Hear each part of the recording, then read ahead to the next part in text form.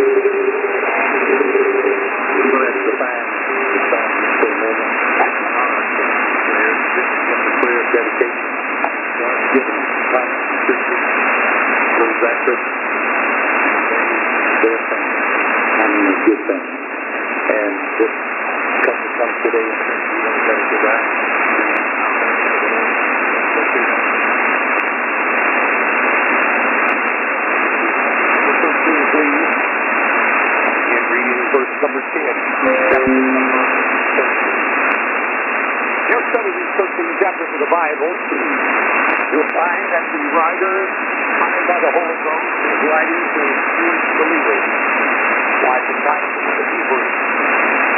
In these 13 chapters, there are many different subjects that are dealt with. Personally, I believe that the Apostle Paul is the author of this book.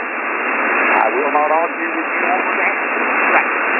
You don't believe it? God will straighten you out on Judgment Day. I promise you that fact.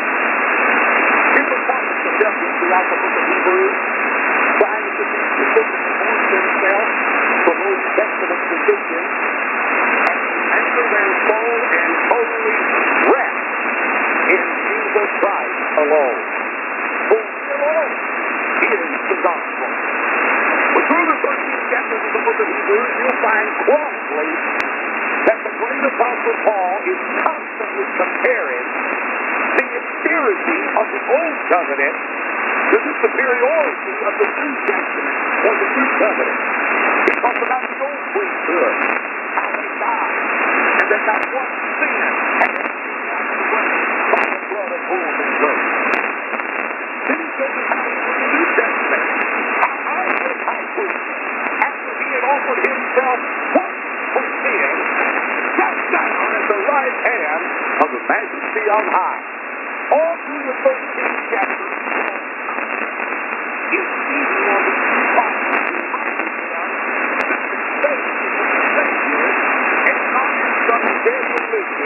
or some formal tradition. Amen? That's right.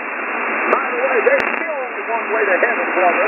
It's not denomination or tradition. Jesus is not any way to heaven. He's the only way to heaven. Hebrews 13, here's what he said in verse 10. We have an offer.